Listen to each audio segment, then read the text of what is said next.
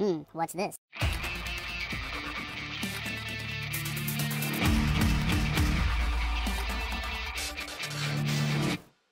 Hello, welcome to the Phreak Show. Bumpy McSquigums here. I want to thank you all for joining me as I start up my first look mini-series on Siralim 2. It's by Thylacine Studios. It released on August 12th of 2016 out of Steam Early Access.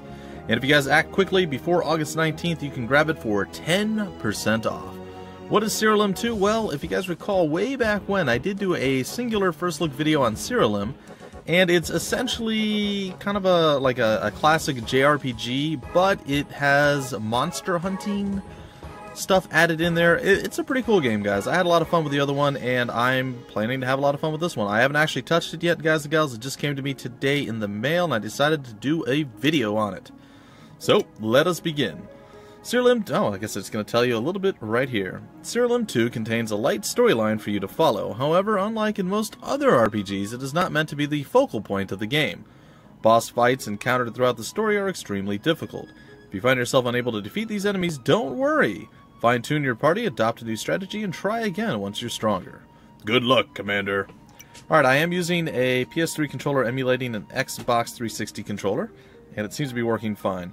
Oh my, could it really be you? Have I found finally found the one I'm looking for? Quickly, human, tell me your name. My name? I don't have a name. Can I just type it? No, I can't. Alright.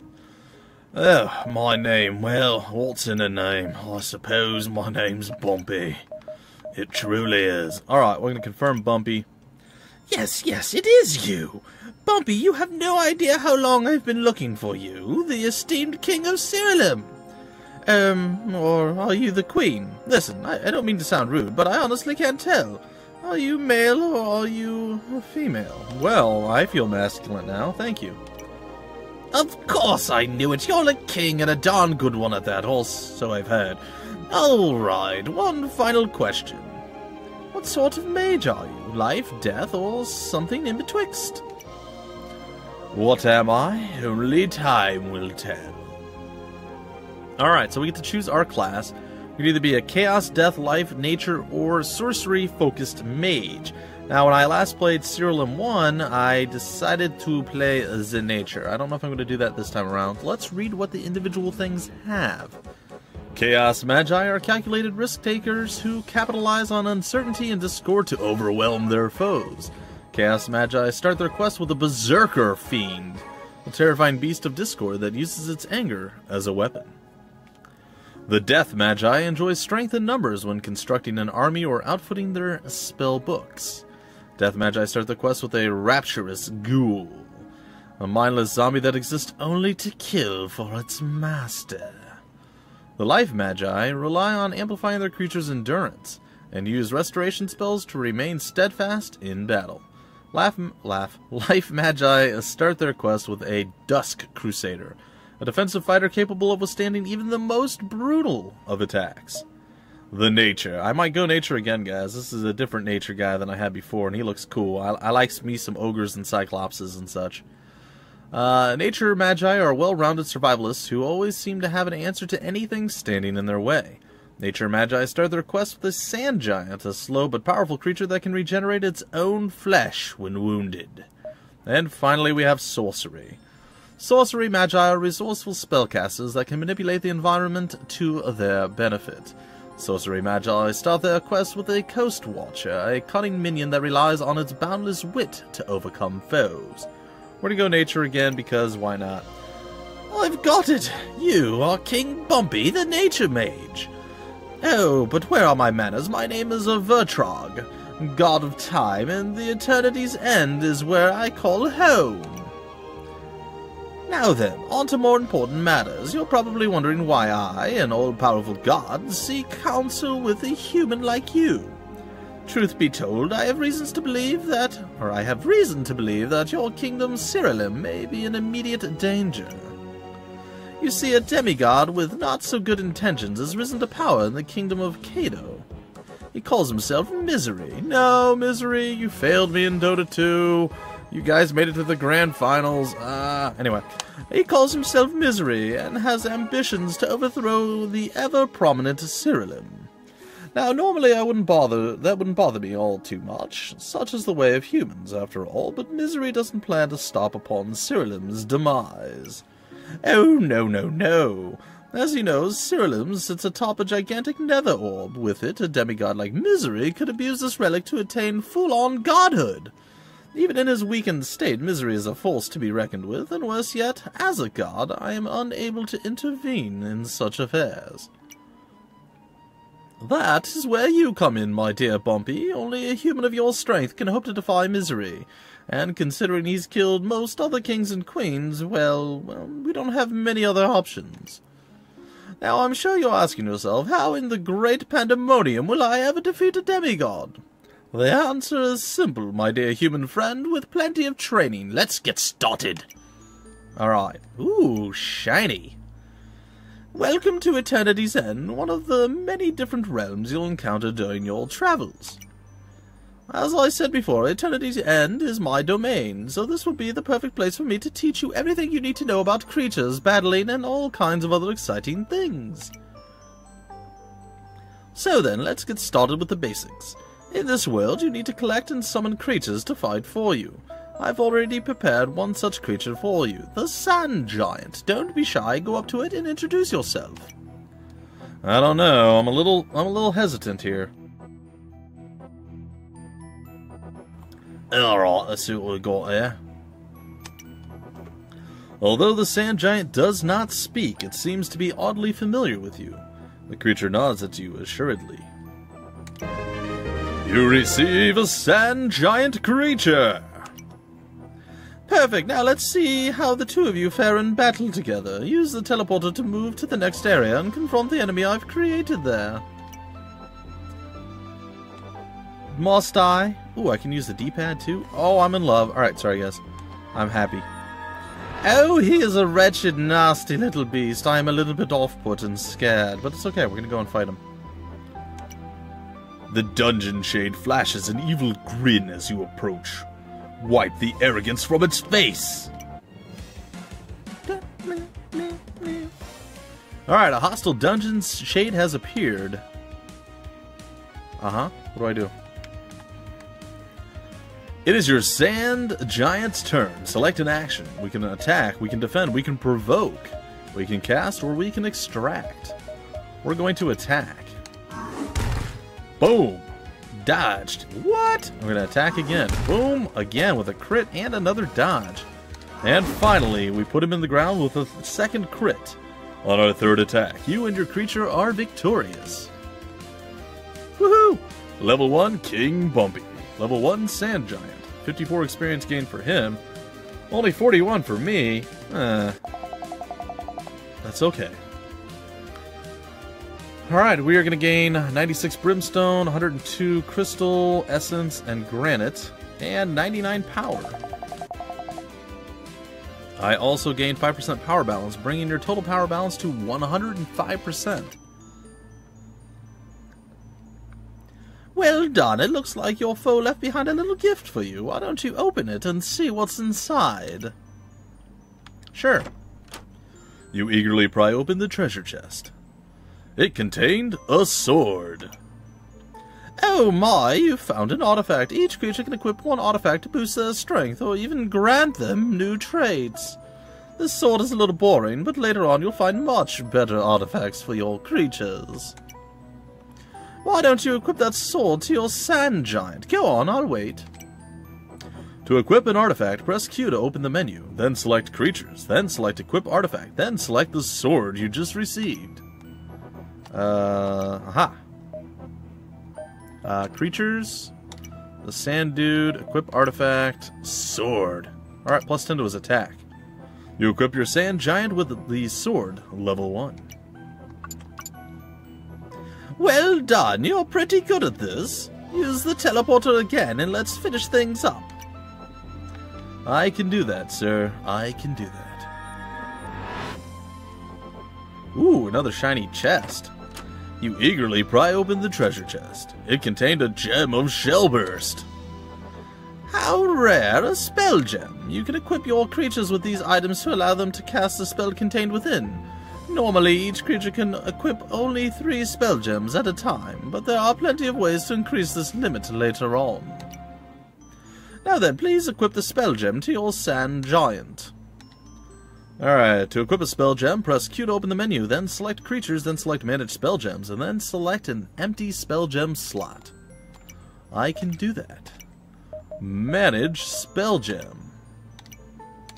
Gem of Shell Burst. Reduces the target's defense by a moderate amount and deals damage equal to 200% of the amount reduced. Impressive. Perfect, great work. For your final test, I've resurrected that poor Dungeon's Shade that you beat up earlier. Finish him off uh, good this time. Sure, I can do that. The dungeon, yeah, yeah, yeah, yeah. Oh, wait, wait. The Dungeon Shade snarls with anger. It must be upset from the beatdown you gave it a few moments ago. Try to finish it off. Or time to finish it off. A hostile Dungeon Shade appeared. Alright, attack! We hit a lot harder. Still dodgy as ever. You and your creatures are victorious. Alright, sweet. Hey, our sand giant's level 2 and so are we. Again, about the same, a little bit different, but still close. And 5% more power balance. Excellent, you seem to have a firm grasp over the basics at the very least, but you are still not ready to face misery. Far from it, in fact. Use the teleporter one last time. It will take you back to your kingdom, Siralim. Meet with your most trusted companions and tell them everything you've learned about misery.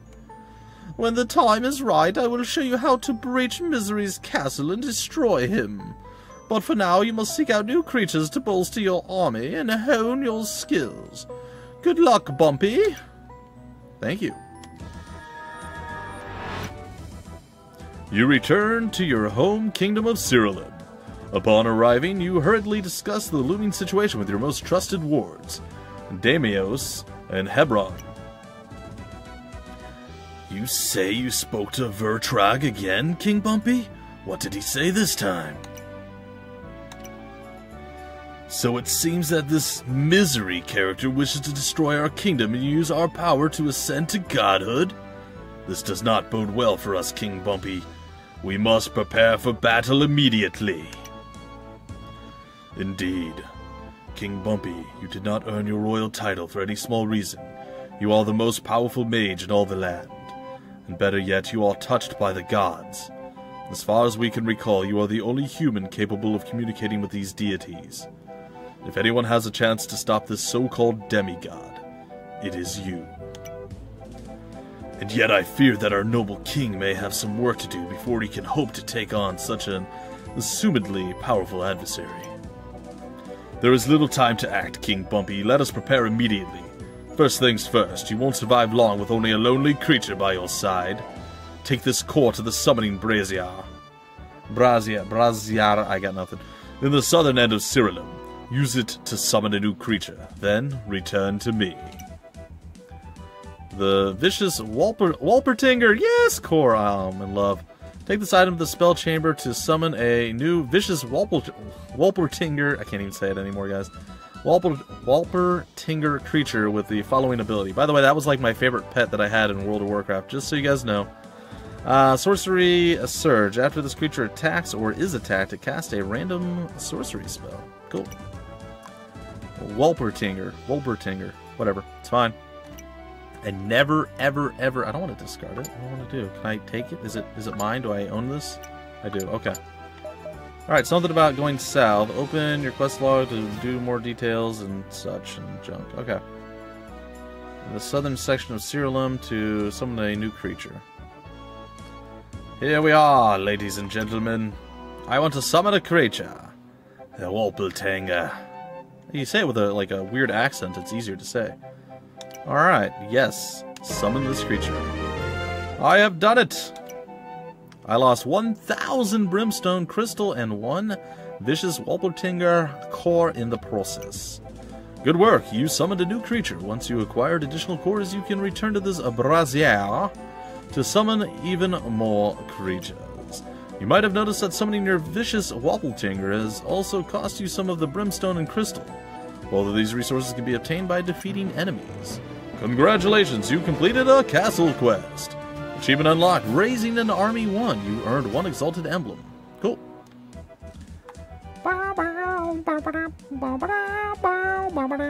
I like this, guys and gals. Uh, I was kind of impressed with the first game in the series, uh, regular Siralim, Siralim 1.0. Siralim 2, it's got a even nicer, it's like a sharper quality. You're not quite as zoomed in.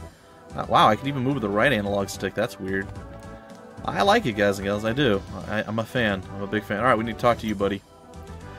Most excellent. You can acquire additional cores. Oh, I've completely lost my voices. It's fine. By extracting them from enemy creatures. Be warned, however, aside from a few basic creatures, you can only extract from a creature that is already contained in the creature bestiary. Located in the library. Speaking of which, Katarina, the Kingdom Librarian, has requested you meet with her at your earliest convenience. You shouldn't keep her waiting. You know how... You know she can have a nasty temper at times. You'll find the library by walking through the eastern wing of Siralim. Don't go too far, though. You might end up in the tavern. Alright, well, we don't want to go, quite go to the tavern yet. Alright.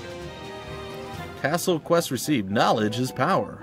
Here we are. Must be you. King Bumpy, I'm glad you came. I've just received a large supply of useful books that might pique your interest. Some books provide useful information about different parts of our very own castle, while other books are enchanted. They'll write themselves so you learn more about the outside world. If you have time, feel free to take a look. I'm not doing that anymore.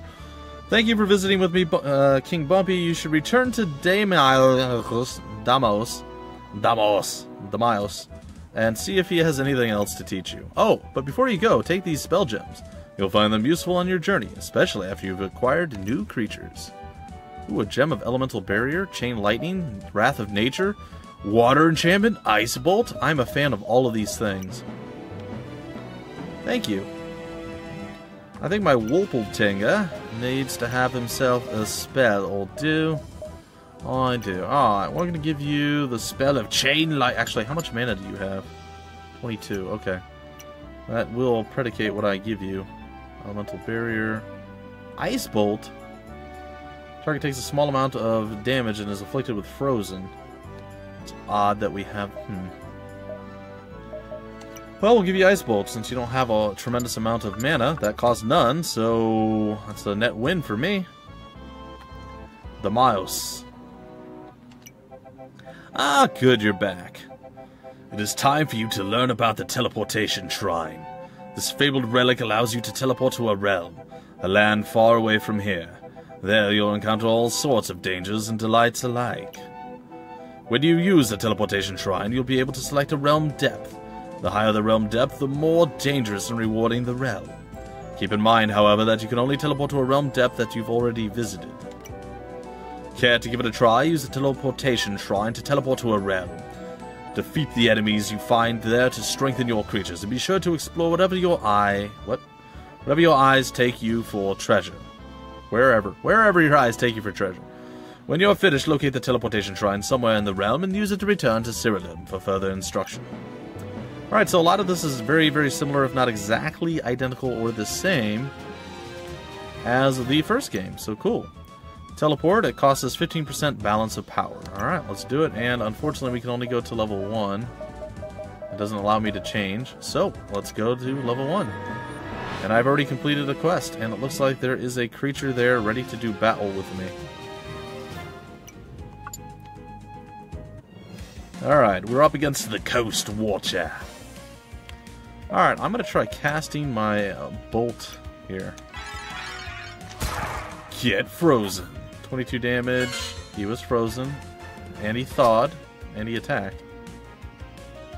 Did we hurt ourselves doing that? I feel like we hurt ourselves doing that. I want to provoke you. Now I'm going to attack. I guess we do a little bit of damage for... Holy... Well, he done got wrecked. Alright. Again, a little bit of experience and a little bit of uh, resources. And we got 6% of balance of power. Is this the thing we can do? You come across a band of travelers. They greet you warmly and offer to trade with you. Unfortunately, you have nothing that they're interested in buying from you. Perhaps there are some resources nearby that they might be interested in. Like this. An ancient relic! It's most certainly worth its weight in resources. It's too heavy for you to carry, though. Huh. Is there a way to have like one of my my creatures do that? No. Well, it's a bit disappointing. Hey, we get to fight our own guy. Sweet. Attack. Ooh, we're blurry and fast. Attack. Who's he gonna hit? He's got rapid regen. All right. We too should have rapid regen. Ooh, we're suffocating him. I like this guy. He's my hero. We stunned and... Oh, man, look at us. We're just amazing. Whirlpool Tenga is doing work. Alright, more stuff. Our balance of power has gone up. Let's go and do battle with this guy again. Man, straight murder him with that guy. It's like guaranteed crit and just owned. Are the battles moving too slowly for you? Consider enabling Turbo Mode. Press Q to open the menu. Select Options, Gameplay, Turbo Mode for details. Um, we can give it a shot. I just want to see what it looks like. I'm personally fine with the way it is right now. Is it Gameplay, Turbo Mode?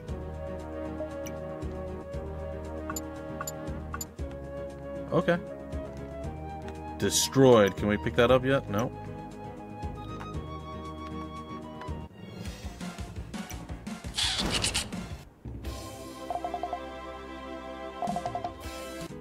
I don't really notice anything different. Ooh, 86 crystal, 61 crystal. Come on, man. Let's go.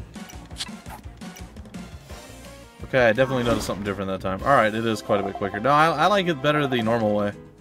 I know a lot of people get impatient, and I imagine if you're playing this for like a ridiculously long amount of time, maybe it would be bad.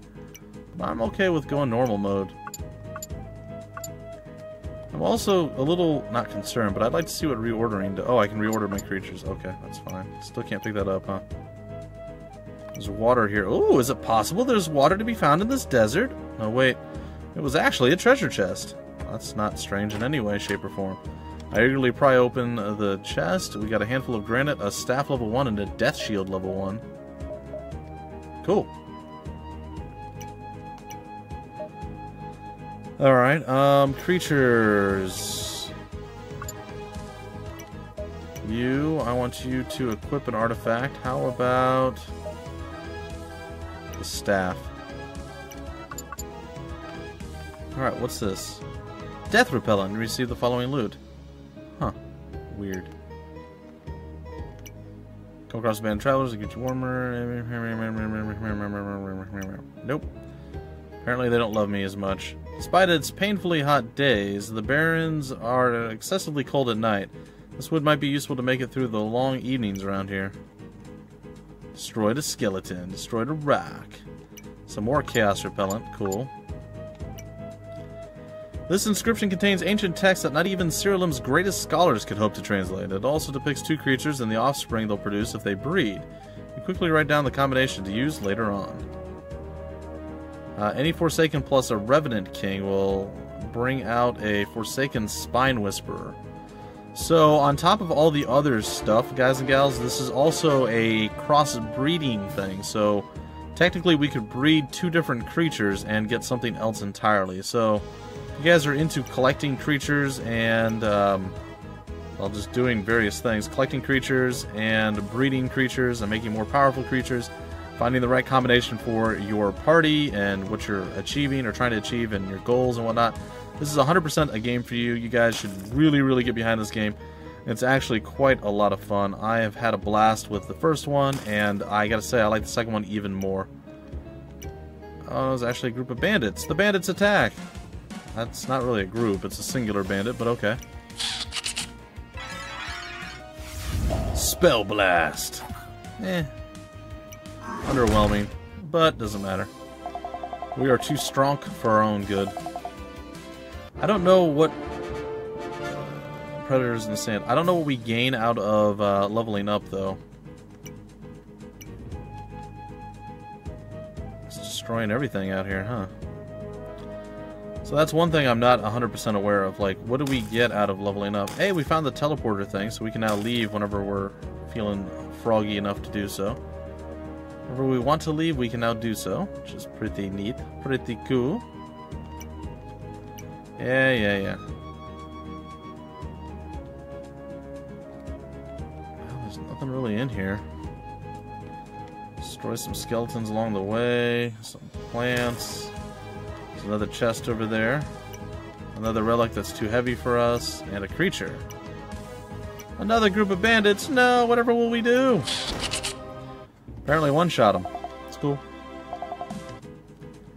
I am totally fine with that.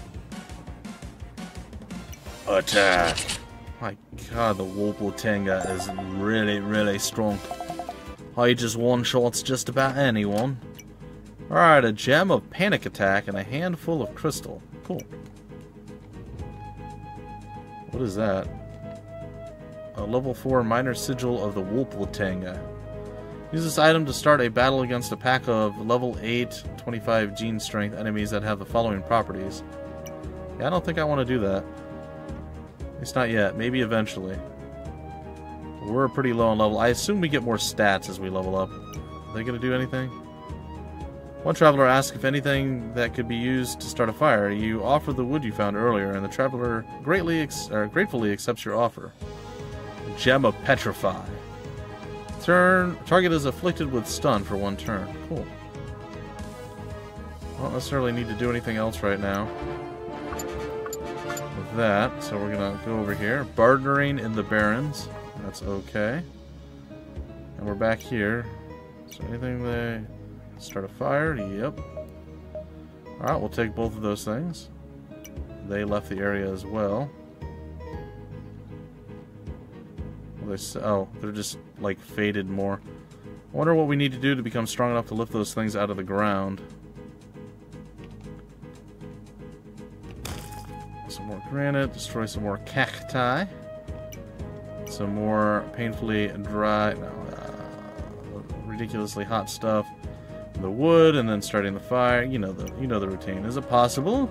Oh no, it was another group of bandits. Ooh, look at this dude. He's crazy as a skeleton sniper. Alright. Well, he didn't survive very far. A little underwhelmed by him, but that's okay.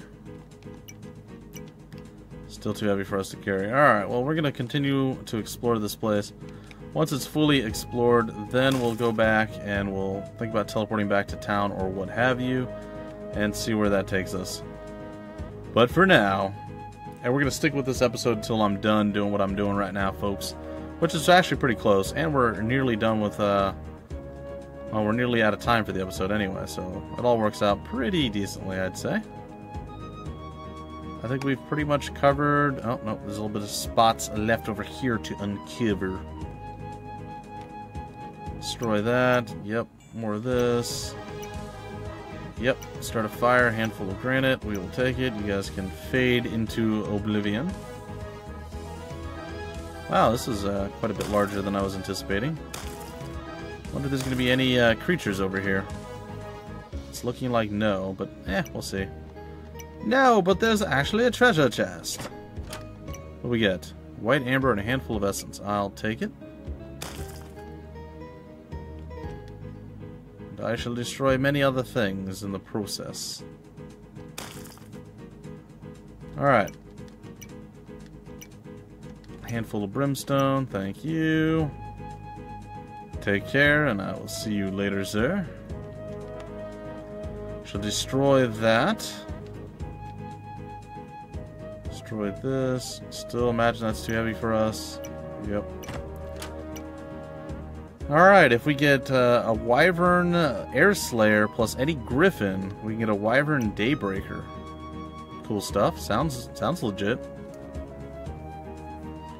Alright, another chest over here. Steel Fluff.